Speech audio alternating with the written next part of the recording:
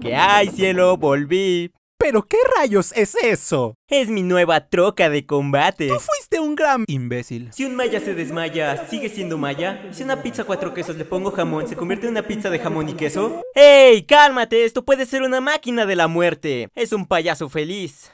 Pero ahora es un payaso enojado.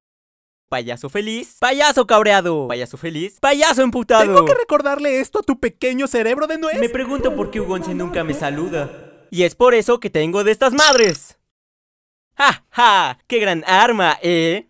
Y las conseguí por solo 5 pesitos. Esto es como aquel ¿Por qué en Motel Bates salen autos y tecnología actual? Si es una precuela de la película Psicosis que ocurrió en 1960.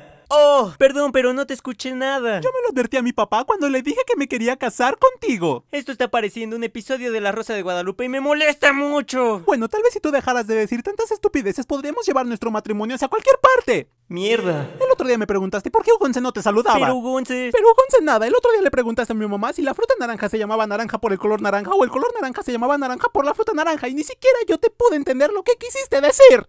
Imbécil. Salúdame al perro. No puedo creer que sigas usando viejas frases de Ugonce para esta conversación. La he cagado.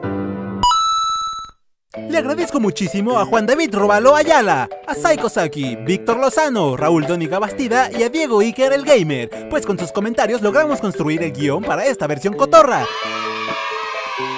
Gracias por ver este video y si quieres ver otra versión cotorra tengo más videos como este en mi canal. Yo soy Ugonce, cuídate mucho, suerte.